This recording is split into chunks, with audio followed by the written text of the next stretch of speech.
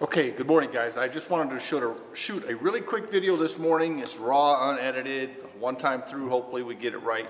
How to mount up your rotor. This is not how to cut it, this is just simply how to put it on the machine. I'll work with you when it's time to cut these things uh, one-on-one. -on -one. First we have to have our rotor, have it picked out. It needs to be clean, okay? We'll talk about that in class, but it's got to be clean.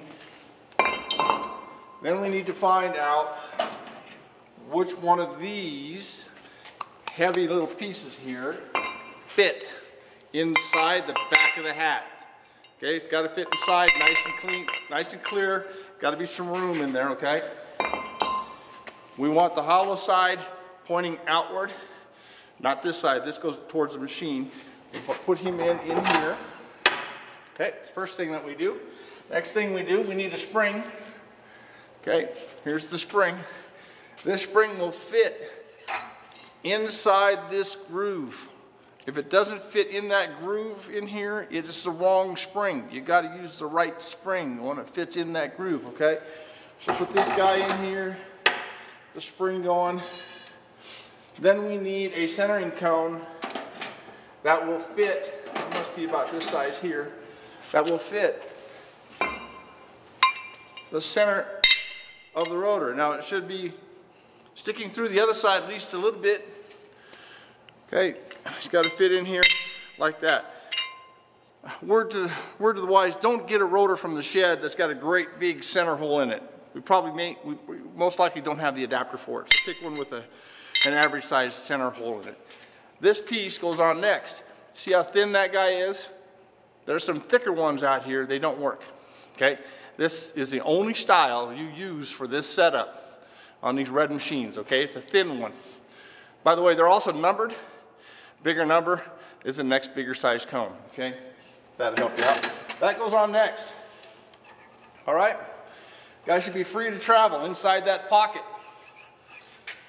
Then your rotor goes on here. Set him on here for now. Just set him gently on the spindle. Be careful with that. It's sensitive. Within a few thousandths of an inch tolerance. Here's your outer cone, your outer bell. Okay, there's the groove, there's the pocket, it faces towards the rotor this time. Okay, because we need that centering cone to be able to stick inside this hole, all right, as we need to. So it'll go on there next.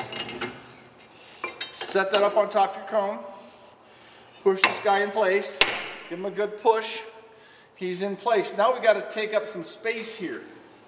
Here's a really good big adapter, just basically just a spacer. There we go pretty good shape. Now, I have to find the nut. Here it is. This nut can go on one of two ways. If I put it on one way, it's designed to take up any extra space there may be showing right here. If I put it on the other way, that's if there's no space showing here. Look at the nut, you'll figure it out when you see it. Okay, so put your spacer on here. Push it up tight backwards threaded.